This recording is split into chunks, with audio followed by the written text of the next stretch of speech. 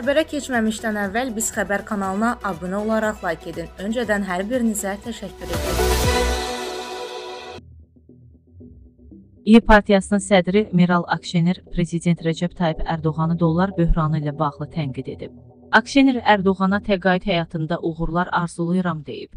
Türkistan az xəbər verir ki, İyi Partiyasının sədri Meral Akşener Partiyasının Tümdəki qrup toplantısında çıxış edib.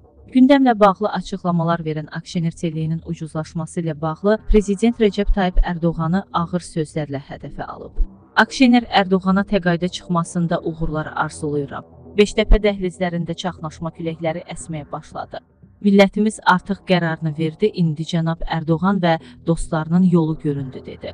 Mərkəzi Bankın faiz qərarı və Prezident Rəcəb Tayyip Ərdoğanın açıqlamalarından sonra ortaya çıxan dollar böhranı ilə bağlı danışan Akşener, Türkiyənin borcu cəmi bir həftə ərzində 1 trilyon 920 milyard lira artıb deyib. CHP sədri Kəmal Kılıçdaroğlu teleyinin kəskin ucuzlaşmasına görə Prezident Ərdoğanı günahlandırıb.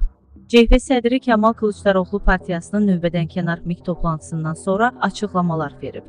Dollar böhranı ilə bağlı telədəki tarixi itkiyə toxunan Kılıçdaroğlu, Ərdoğan hər çıxışında iqtisadiyyatı sarsıdı.